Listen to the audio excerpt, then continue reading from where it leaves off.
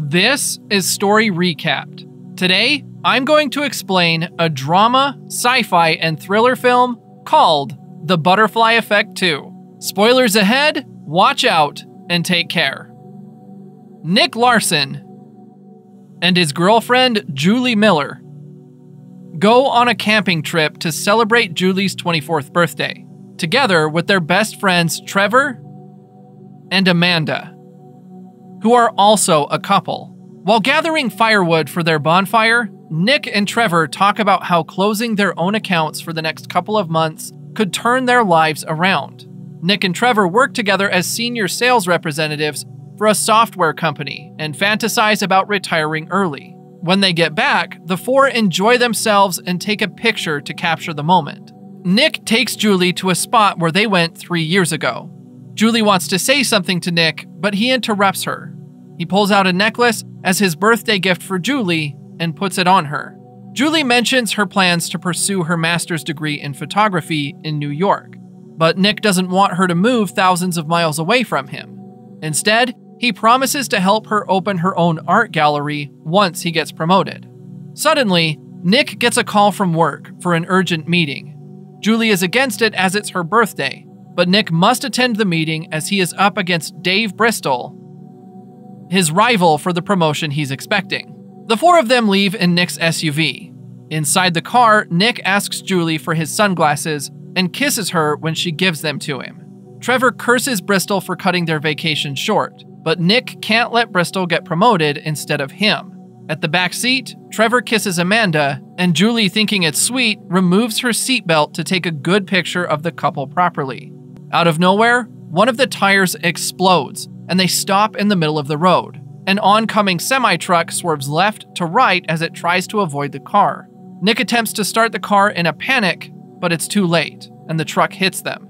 Nick ends up in a coma in the hospital, and his mom, Catherine, sits beside his bed. Suddenly, Nick starts seizing, and a nurse calls Code Blue, but Catherine inexplicably calms him down and tells the nurse he gets nightmares sometimes. One night, Nick finally wakes up and sees Catherine beside him.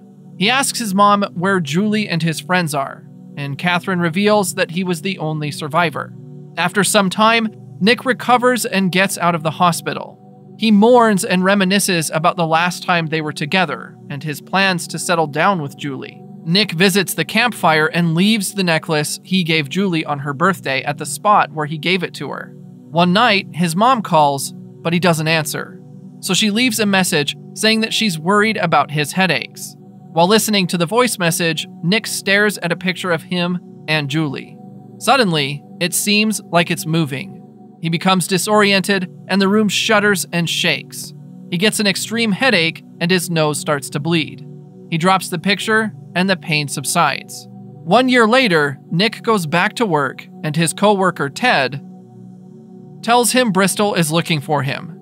Because of the accident, Bristol got the promotion instead of him. Bristol reminds him about the spreadsheets he expected even when Nick says he submitted it already. Bristol nags him and tells him their 4 o'clock sales presentation has been moved to 11 o'clock. Bristol suggests he should do the pitching if he can't handle it, as he's aware of Nick's reoccurring headaches. But Nick insists on giving the spreadsheet and doing the pitch. These actions are Bristol's way of establishing his superiority to Nick, even telling Nick to clean up his messy desk. During the meeting with their potential investors, Nick pitches software that enables their handheld device to communicate with any wireless technology, as part of the presentation, he shows freshly snapped photos of their clients from his phone into his slideshow. Nick moves on to the next slide showing a group photo with Trevor. Nick impresses the clients as he answers their follow up questions and is about to nail the presentation. But seeing his friend's photo triggers an excruciating headache. He trembles as he stops the slideshow. This incident ends up blowing the sales presentation. Their boss, Ron Callahan, discusses Nick's situation in his office while Bristol listens. Bristol tells Callahan about Nick's headaches. Since Nick causes the company to lose a significant investor, Callahan suspends him for a week. Nick looks through the last photographs Julie took inside the car, before the fatal accident, reminiscing the memories at his home. While staring at them, he gets another blinding headache, and spills beer on his table. The room begins to shake, and time seems to go out of order as the beer flows back up the table and the wall clock's hands behind him run in reverse. Suddenly, he finds himself back in the car with his friends and Julie before the accident. He asks Julie for his sunglasses and leans in for a kiss, confused as if he's having deja vu. Trevor curses Bristol again, and Julie takes off her seatbelt to take a good picture of Trevor and Amanda kissing. Seeing this, Nick exclaims at Julie to put her seatbelt back on, which she does. Just like before, a tire blows and the car slides uncontrollably on the road until it stops in the middle. Aware of what will happen next, Nick starts the car in a panic. He steps on the gas, drives out of the way of the oncoming truck, and hits a tree. He wakes up in pain, lying on the floor and with his nose bleeding. He looks around and realizes the apartment looks different, having a warmer vibe with paintings and flowers. A familiar voice calls to him, startling him. Julie arrives, alive and wearing the necklace he gave her. He longingly kisses her and smells her hair while Julie wonders what's going on. He tells her he was having a nightmare. He smothers her with hugs and kisses, and he can't believe Julie is alive. Julie tells him they need to go because it's her birthday. At the restaurant, Nick tells Julie that he had another version of his life where she was dead. Julie assures him it was just a bad dream, and what matters is they're together. Trevor and Amanda arrive and greet Julie with a happy birthday. While Nick is ecstatic to see his friends again, nothing is unusual for them as they live in a timeline where nobody died in the accident. Nick learns Trevor and Amanda are getting married, and he's responsible for planning Trevor's bachelor party, as he's the best man. After dinner, Nick and Julie make love at home. In the office, Nick researches dreams, PTSD, migraines, alternate reality, and things of the sort to figure out what he's experiencing. He finds an article about Jason Treborn, a patient diagnosed with selective memory loss complicated by schizophrenia that altered his senses of reality. He shuts off his monitor when Trevor visits him. Ted lets them know Bristol is calling for a staff meeting and wants to see Trevor first. At the meeting, Bristol announces that they had lost five deals, Trevor's account was one of them, and the reason he was called in first was because Bristol had to fire him. Nick confronts him in front of everybody and questions his decision to fire Trevor immediately when he knows how hard the job is. Considering that the account that Trevor lost was originally Bristol's, Nick accuses him of giving it to Trevor on purpose, knowing that it was a lost cause. Threatened by his accusation, Bristol fires Nick as well. As Nick is leaving, Trevor tells him to go and apologize, as it wasn't his problem. Still, Nick sticks to his decision as he believes life is too short to work for a company that promotes someone else despite his efforts.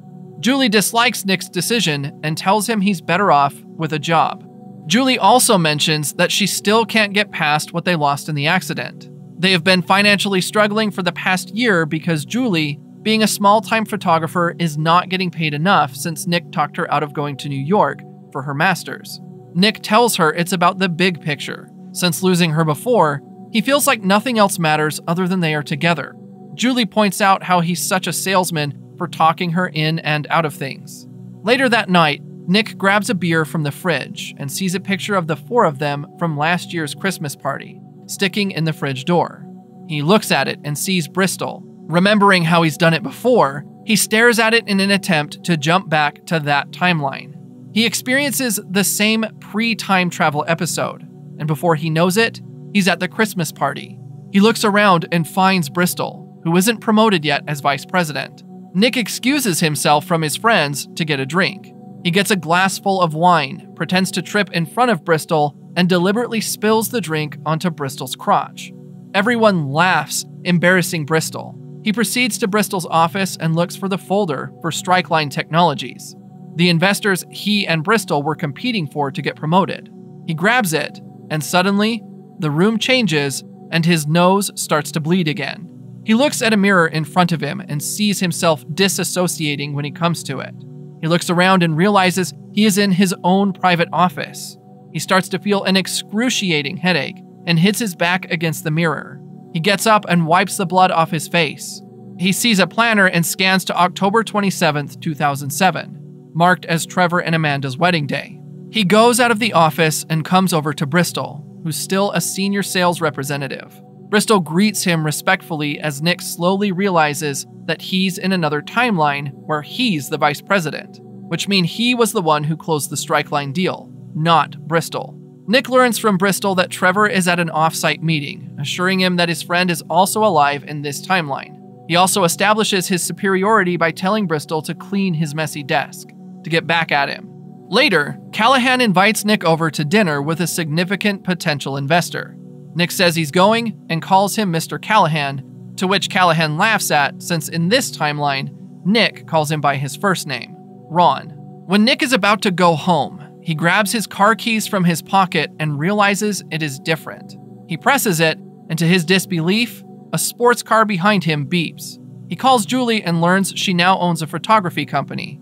He leaves her a message inviting her to dinner after his client meeting. Nick comes home and sees how good his life is in this timeline, as his place is now aesthetically extravagant. During dinner with the potential investor, Fuentes, Callahan is also with his daughter Grace. He asks Nick to present the number as they attempt to close him as a client. Nick hesitates as he has no memory of what must be discussed.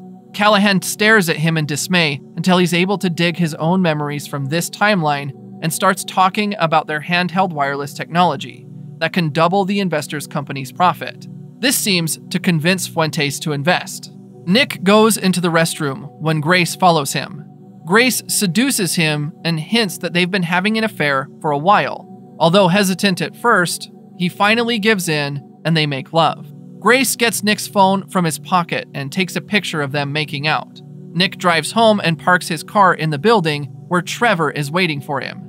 He has a wound in his face as a reminder from one of their investors, Malcolm, with whom Trevor closed a deal with but wants his money back. Nick assures Trevor he'll take care of it. When Nick asks Trevor about Julie, he reveals that she and Nick have broken up.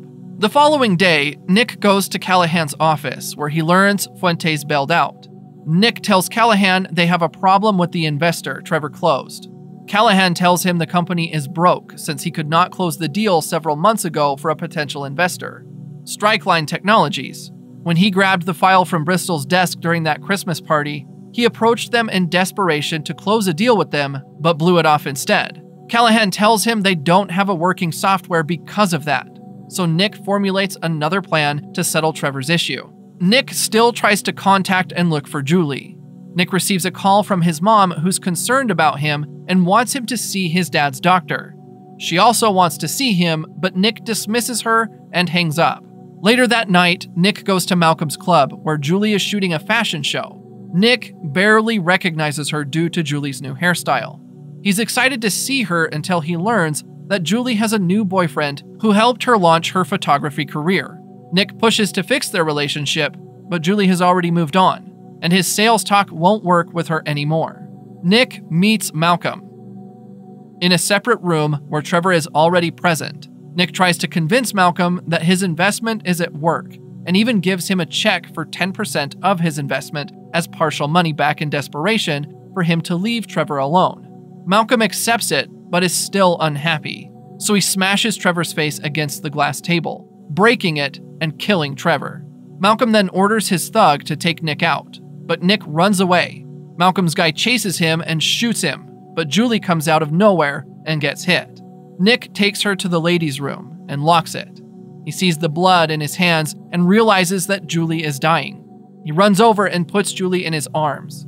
He opens his phone to the photo Grace took of them kissing in an attempt to jump into that timeline to change their fates. But before he could, Malcolm's thug breaks in and knocks him unconscious. When Nick comes to, Someone is giving him head. He raises the sheet and sees Wayne, Malcolm's partner. Nick tries to run for it, but Wayne stops him while insulting Trevor's and Julie's deaths. Angered, Nick pushes him out of the door, causing Wayne to fall down the stairs. Nick uses the opportunity to escape. At home, Nick confesses everything to Catherine and demands to see his dad. His mom then reveals his father committed suicide. Catherine, who seems to have an idea that Nick and his dad are the same, reminds him he shouldn't control everything and that he needs to see the doctor. Catherine advises him to let things go, but Nick is still adamant about correcting their lives. Nick asks Amanda to meet him at a bar and bring a photograph of the four of them from Julie's 24th birthday. Amanda is scared for Trevor and thinks something is wrong, but Nick simply promises that Trevor is okay. At his place, Nick stares at the picture he asked from Amanda, and time travels back to the campsite. He tells Julie to pursue her master's in New York and breaks up with her, thinking it would give her a future better than what he saw from the other timelines. Julie then reveals she's pregnant, but he doesn't respond in shock. Upset, Julie takes off with his SUV. Nick steals a car from a couple and follows her, frightened she might meet the same accident as before, and dies alone. Julie slows down because of a truck blocking her from speeding up. Nick grabs the chance to pull alongside Julie in the wrong lane and urges her to pull over. He apologizes her and tells her that he made a mistake for breaking up with her, as he didn't know she was pregnant. An incoming vehicle approaches Nick's lane, and Nick drives off a cliff. A year later in New York, Julie tells her son she has to go to class. She named her son after Nick, and just like his father, he experiences a pre time travel effect as he stares at a photo of his mom's 24th birthday. Subscribe to watch more videos like this. Turn on notifications. And leave a like, it really helps the channel out. Thank you for watching.